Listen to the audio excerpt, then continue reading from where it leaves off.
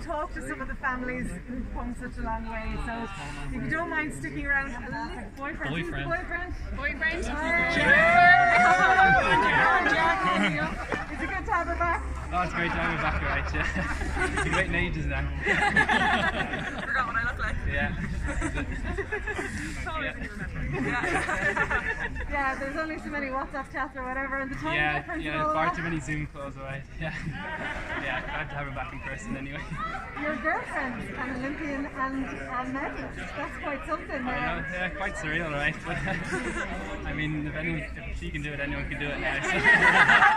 Um, I think considering it's all of our first Olympics, we didn't have any expectations going in. So even though there was restrictions in place and it was quite a different Olympic Games from separate years, you know, we still soaked it all up. We had nothing to compare it to. This was our first kind of experience of it, and it was still massive, regardless of whether we had like a shorter time in Tokyo or we couldn't leave the village. We still like enjoyed every minute of it, and it was it'll potentially be one of the most amazing experiences of our lives if we never go again.